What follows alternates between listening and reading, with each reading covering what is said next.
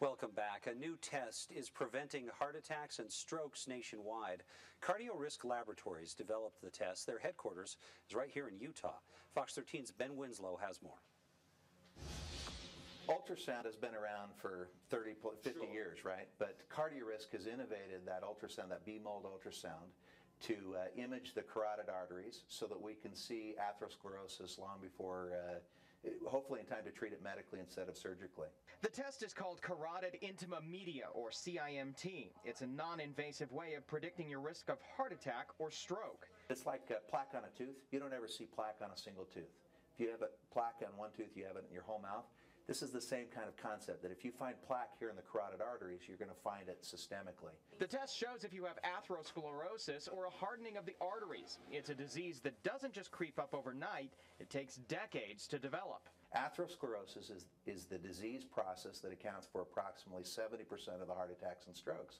And with the CardioRisk IMT test, we can see atherosclerosis in its earliest stages, again, so that we don't have to have people killing over dead in a parking lot. And as with most ailments, the key is to get treated early. An ounce of prevention is worth a pound of cure, and, and that uh, adage uh, is certainly true as it relates to our arteries. The test is $250 and is covered by most insurance companies. It works just like an ultrasound. So we're simply going to put a transducer, a, a probe on the neck with a little uh, conductive jelly, and uh, again, it's no pain. It's it's just a very simple procedure. When we're done, we wipe the gel off, and, and you walk away. The images are sent to their offices in South Jordan and sent back to the doctor and patient within two to five days.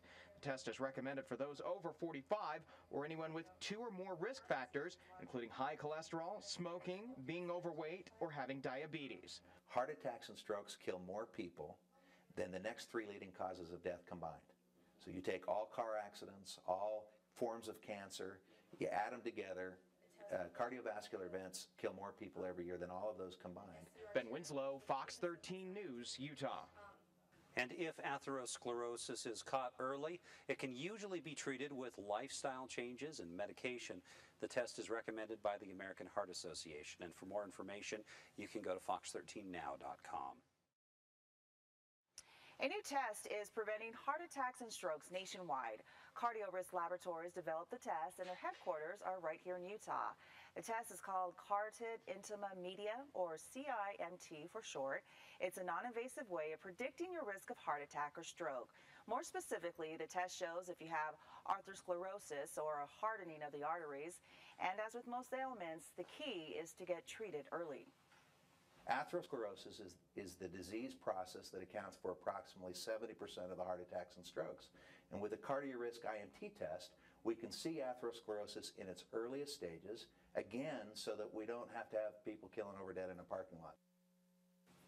After the test, the images are sent to the company offices in South Jordan and are returned to the doctor and patient within two to five days.